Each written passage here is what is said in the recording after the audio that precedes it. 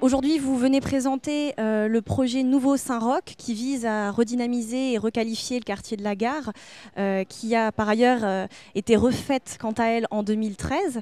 Dans quel état est le quartier de la gare Saint-Roch aujourd'hui et quelles sont les principales évolutions que vous visez?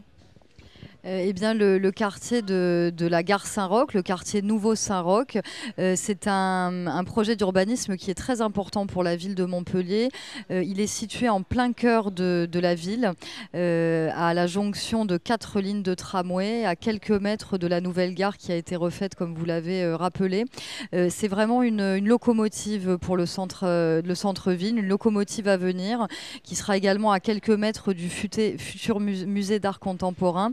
Euh, cette, ce quartier Saint-Roch, c'est vraiment un, exemple de ce que nous faisons aujourd'hui en matière de renouvellement urbain à Montpellier.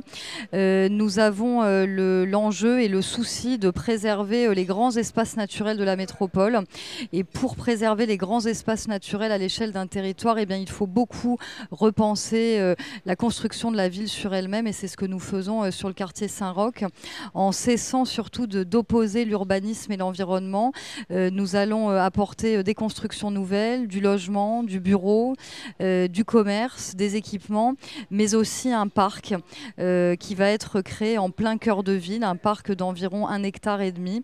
et nous avons beaucoup travaillé à la concertation sur ce projet, car aujourd'hui, les projets de renouvellement urbain se font sous les fenêtres des habitants, avec une population qui est déjà là. Et donc la donne n'est pas du tout la même que sur les projets de développement urbain. Ce travail de concertation nous a permis euh, de recaler certains points euh, du projet et d'avancer aussi avec euh, les habitants dans ce projet qui est très important pour nous tous. L'opération est également marquée par des programmes immobiliers à l'architecture remarquable, notamment la tour Brenac-Gonzalez. Pouvez-vous nous en dire plus à ce sujet?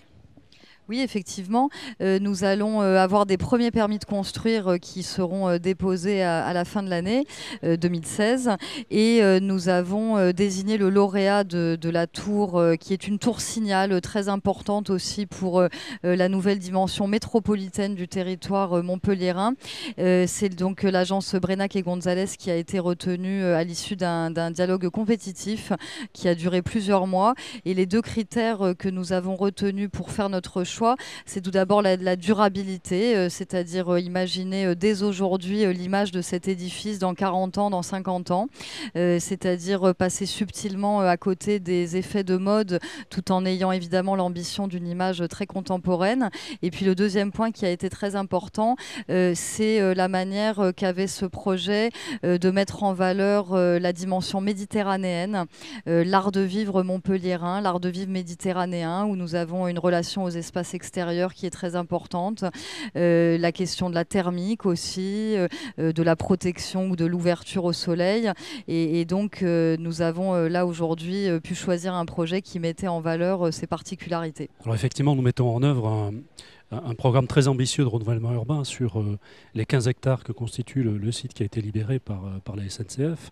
Sur ces 15 hectares, nous allons euh, réaliser près de 1300 logements, près de 30 000 m2 de, de bureaux et pour partie de commerce, avec, comme vous voulez le, dire, comme l'a dire Stéphanie Janin, des premières réalisations. D'abord un, hôtel qui va être très rapidement construit, dont les travaux devraient démarrer au cours de l'année 2017. Un hôtel de 100, enfin deux hôtels exactement de 180 chambres.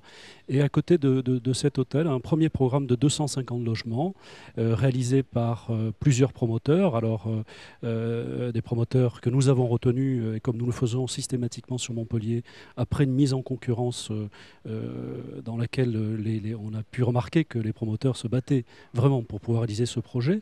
Donc, nous aurons Vinci, Pragma, Arcade.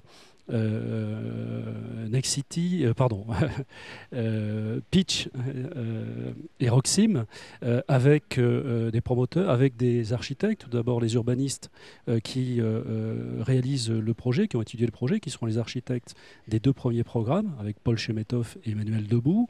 Et pour les autres opérations, Stéphanie vient de le dire, nous avons fait un, concours d'architectes qui nous a permis de, de travailler avec trois, trois équipes différentes. Nous avons eu comme lauréat euh, l'équipe Brenac et Gonzalez, mais nous avions en concurrence euh, l'équipe Big. et puis un architecte de Montpellier, Pierre Tour.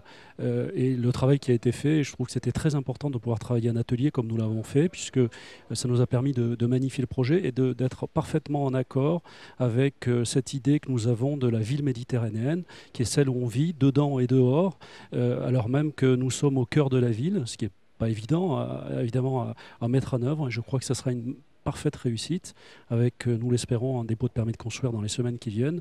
Et dans un peu plus d'un an, un an et demi, nous aurons euh, cette première tour euh, qui viendra au cœur de, Montpellier, marquer ce, beau territoire, cette tour méditerranéenne, comme l'a qualifié tout à l'heure Paul Chemetov.